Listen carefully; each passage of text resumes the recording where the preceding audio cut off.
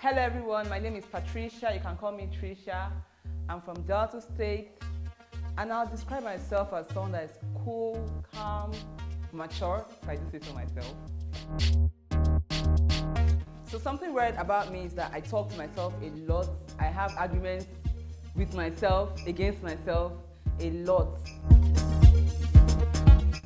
Okay, I'm a cool, calm, collected person, and in the Yan Room, you can expect me to state my views clearly, clearly, and I'm, yeah, that's about that. Nigerians, I have advice for you. Next year is election. Please use your head, think ahead. Thank you.